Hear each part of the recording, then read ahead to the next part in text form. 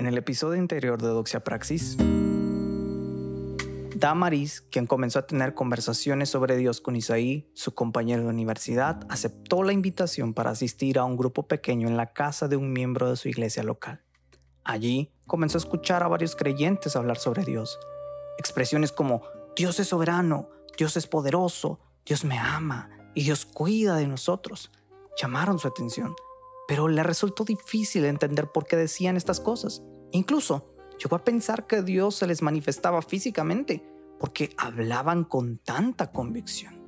Esto la asombró, pero también la llenó de temor al enfrentar algo nuevo y posiblemente desconcertante. Después de desayunar y salir para su trabajo, recibió una llamada que interrumpió su jornada. Un tío suyo muy querido sufrió un accidente automovilístico que le arrebató la vida. El mundo de Damaris se derrumbó y no sabía cómo reaccionar. Sintió un profundo dolor y de repente escuchó una voz que le dijo, lo que escuchaste de esta gente en la reunión son solo mentiras. Si el Dios del que ellos hablan es poderoso, ama y cuida a las personas, esto no lo habría pasado a tu tío.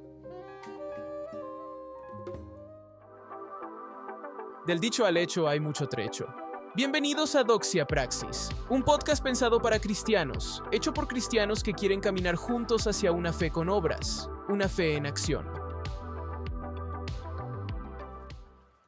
¿Qué tal amigos? De nuevo Obed González con ustedes en un nuevo episodio de este podcast donde buscamos que la doctrina no sea solo información, sino una parte activa de nuestro diario vivir disfrutando de Dios.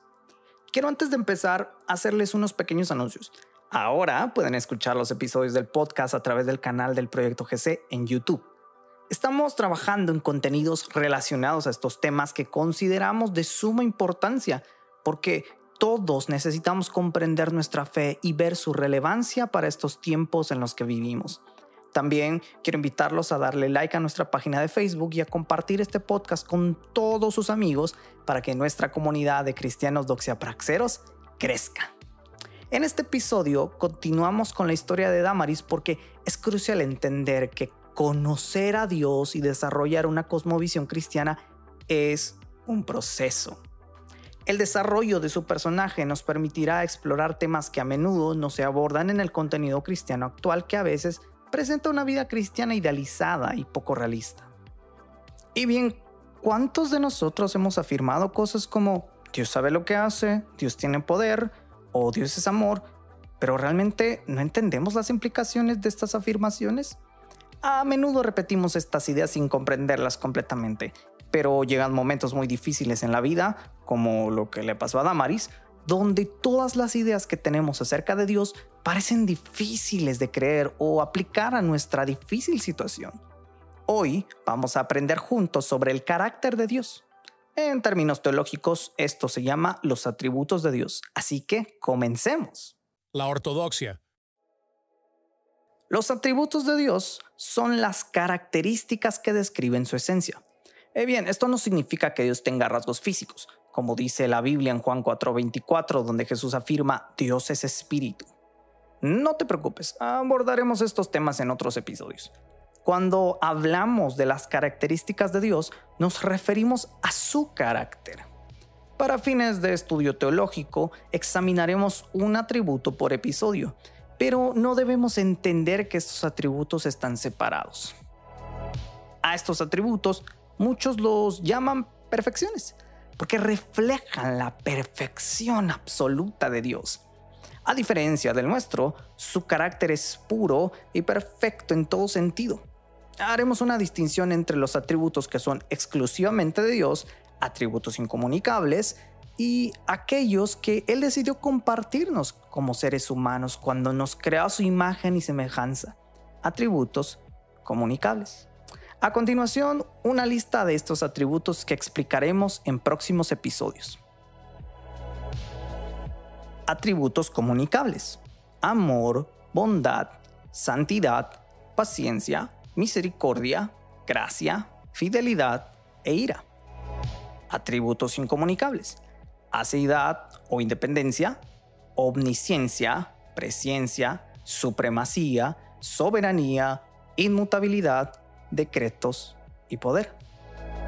En este punto cabe resaltar que todo este tema de los atributos de Dios tiene su base en la Biblia y fuera de ella, de ninguna forma podemos atribuir o tratar de especular cosas acerca de Dios, porque este conocimiento es tan grande que nuestra mente finita y limitada es incapaz de entender completamente el carácter de Dios. Por esta razón, la Biblia afirma en Deuteronomio 29:29 29, lo siguiente. Las cosas secretas pertenecen al Señor nuestro Dios, pero las cosas reveladas nos pertenecen a nosotros y a nuestros hijos para siempre, a fin de que guardemos todas las palabras de esta ley. Los atributos de Dios no deben verse como piezas separadas ni medirse en términos humanos. No es que Él tenga una cantidad más elevada que nosotros de atributos como el amor o la paciencia, porque al ser perfecto, todas esas atribuciones de su carácter son perfectas, sin una comparación que podamos imaginar. Teniendo esto en cuenta, continuamos. La ortopraxis el conocer sobre el carácter de Dios produce un asombro por quién es Dios. Nos llevará a considerar muchas veces cómo estas características de su carácter se muestran en diferentes momentos de nuestra vida y sobre todo nos dará muchísima paz y gozo, porque ahora la vida no se verá como hechos aleatorios sin ningún tipo de control o propósito, sino que todas estas son orquestadas por el carácter perfecto, santo y justo de Dios. Comprender estos atributos nos ayuda a entender nuestras propias reacciones y valores como la justicia, bondad y amor. Dejarán de parecer solo cualidades humanas y se revelarán como reflejos del carácter de Dios, parte de nuestro diseño al ser creados a su imagen y semejanza. No veremos nuestras dificultades como algo que se agranda sin control, sino que ahora podremos confiar en que un Dios poderoso que todo lo conoce y que nada se le pasa por alto, está al volante de este viaje que es nuestra vida. Y sobre todo, nos evitará tener una visión distorsionada acerca de Dios, lo cual también traerá mayor claridad a medida que vayamos caminando la vida cristiana. De repente escucharás decir cosas como, Dios es un caballero y respeta nuestras decisiones. Nosotros podemos detener la voluntad de Dios con nuestra desobediencia. Dios llora cuando tú estás lejos de Él. Dios es amor y por eso es incapaz de mandar gente al infierno, de castigar. Dios nos da la salvación, pero es nuestro deber no perdernos en el camino para no ir a parar al infierno. Y todas estas expresiones te harán no solamente cuestionar en qué clase de Dios están creyendo estas personas, sino que también podrás ver que son imágenes de un Dios que no es el que se encuentra en las páginas de tu Biblia. Finalmente, esto despertará en ti un hambre por conocerle. Querrás ver cómo obra a través de la Biblia. Escucharás prédicas que te hablen acerca del Dios que estás conociendo. Vas a desear tener conversaciones con otros cristianos para que juntos puedan meditar sobre el Dios perfecto que no está escondido esperando que lo encuentres, sino que ha dado todo para que puedas conocerlo. Y esta es la vida eterna, que te conozcan a ti, el único Dios verdadero, a Jesucristo, a quien has enviado. Estas son las palabras de Jesús a sus discípulos en Juan capítulo 17, versículo 3, antes de ser entregado para morir en una cruz. Y esas mismas palabras son las que hoy nos recuerdan la importancia de conocer a Dios, porque es a través de Jesús que hoy podemos conocerle. Y bueno, veamos qué pasó con Damaris. Damaris empezó a contemplar esta voz de duda en su mente y por varias semanas evadió a Isaí y a las personas con quien entabló conversación en aquella primera reunión a pesar que le escribían por WhatsApp ante lo que había sucedido con su tío. Estaba sumida en una profunda tristeza y lo único que quería era sentir un alivio al dolor de ya no poder ver a su tío. Ahora tendría que ver a su prima atravesar su adolescencia sin una figura paterna y a su tía con una gran incertidumbre sobre qué pasaría después en este panorama tan incierto ¿Cómo podía entender que Dios permitiera estas cosas? Si había escuchado tantas cosas buenas acerca de él. Después de un mes de evasión, Tamaris escuchó una predicación que Isaí le había enviado al principio de sus conversaciones, la cual fue desplazada en su chat de manera desapercibida. El sermón destacaba la fidelidad de Dios durante el sufrimiento de José en Egipto.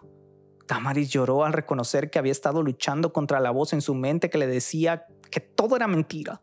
Sin embargo, otra voz le decía, probablemente no entiendas por qué permitió esto pero hay algo más allá de la muerte y lo que sucedió con tu tío no es el final del camino. Entonces, las palabras del sermón, Dios es fiel, resonaron en su mente. Decide al día siguiente hablar con Isaí, contarle lo que siente. Casualmente, Isaí le habla acerca del carácter de Dios y cómo Él es fiel a pesar de las circunstancias que suceden. Esto ayuda a Damaris a entender mejor lo que había escuchado el día anterior en el sermón Isaí la observa y le dice que esto que está pasando es normal, pues es una lucha ante la idea de reconocer que alguien infinitamente superior gobierna por encima de su propia vida. Esto la asombra una vez más. Le pide perdón por haberse alejado y nuevamente acepta llegar a un servicio de la iglesia de Isaí. Continuará. Gracias por escuchar este capítulo de Doxia Praxis el podcast donde la doctrina y la vida diaria no están separados. Te invitamos a seguirnos en nuestras redes sociales para tener acceso a más contenido como este, YouTube, TikTok y Facebook como Proyecto GC e Instagram como Guate Proyecto GC. Nos vemos en un próximo episodio. Gracia y paz a todos.